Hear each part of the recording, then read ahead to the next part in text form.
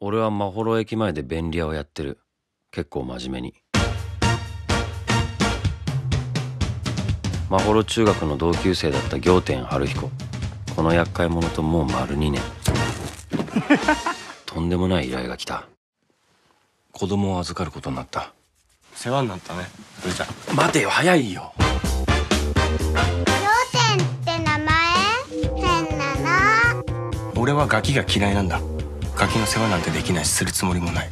早く取れ。よ仰天さんは子供の頃に辛い思いをしたようですから。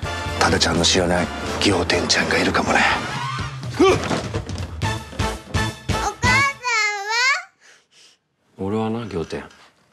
お前が春ちゃんと向き合えばいいと思ってる。お前は子供の世話ができる。なんで？2年間一緒に暮らしてきて俺にはよーく分かってる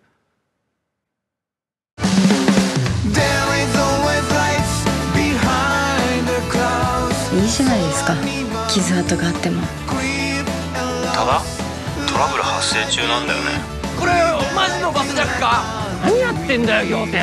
狂人の娘神様の子供にしようか。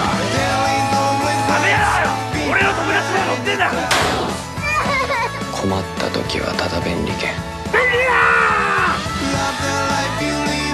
タダが言ってたよ。生きてればやり直せるって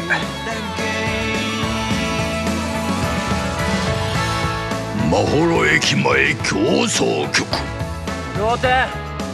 ただ。何やってんだよ